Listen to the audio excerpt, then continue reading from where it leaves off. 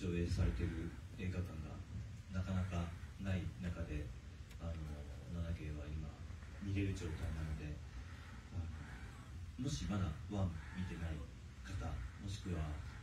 ちょっと見たけどこう2を見てからの1っていうすごい不思議な流れに70年代の今度は若松プロなのであのそういう楽しみ方であのぜひ止められるか俺たちはあと世界線も時代も違うんですけどもあの見たらちょっとクスッと笑ってしまうキャストがほとんど一緒なあの福田村事件もあのぜひ半分以上同じキャスト福田村事件あの全然世界観は違うんですけどもあのきっとこの後見るとあのちょっと違う映画の楽しみ方でご覧になれると思うのであのお時間あればぜひ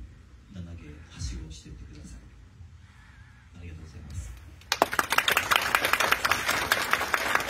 全く別の井浦だと全く別の杉田ライブが見えますからね、で。もう本当に、あのなんなら東出さんと小林さんは福田村事件ではね、あの不義密通のカップルで、それが今回結ばれてるみたいな、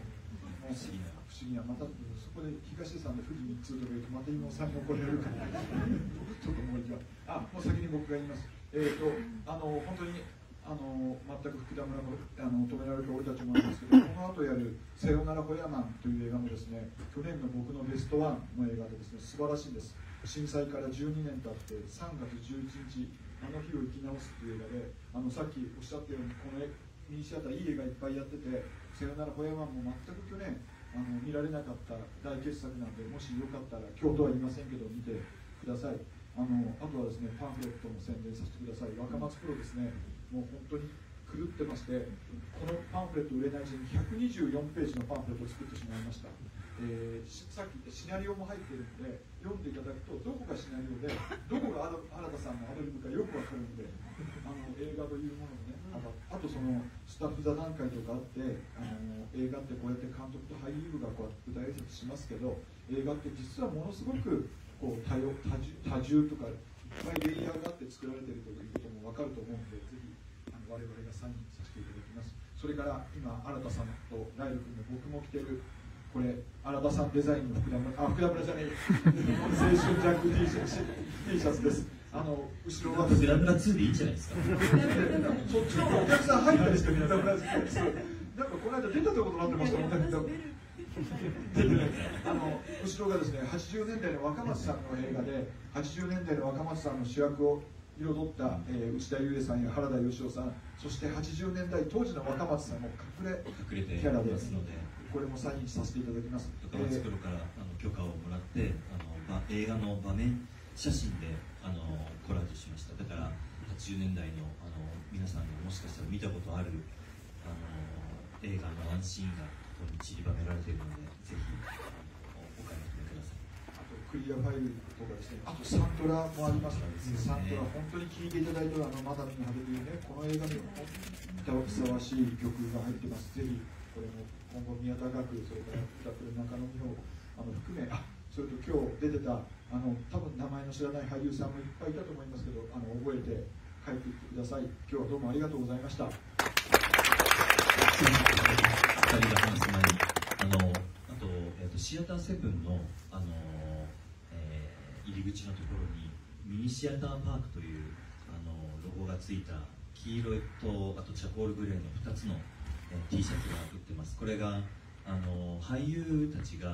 のこうあのコロナコロナが始まって映画館があの苦戦している集客苦戦している時に俳優たちがみんなで集まってあの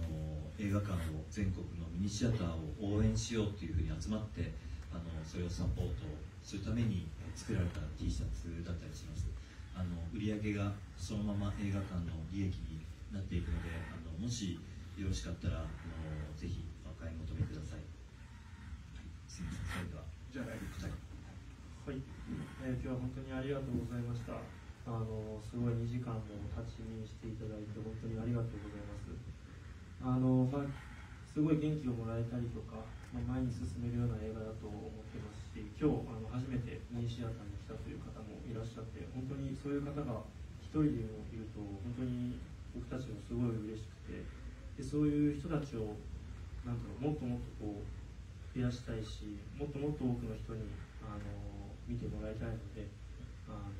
何でもいいのであの周りの方とかに広めていただけると嬉しいです、えー今日はありがとうございました。